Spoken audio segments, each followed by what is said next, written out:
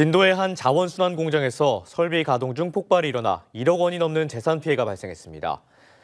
어제 낮 12시 20분쯤 진도군 고군면의 한 자원순환 공장에서 폭발과 함께 화재가 발생해 공장 두 개 동과 차량 두 대가 파손되고 소방서 추산 1억 천여만 원의 재산 피해를 낸 뒤 40분 만에 꺼졌습니다.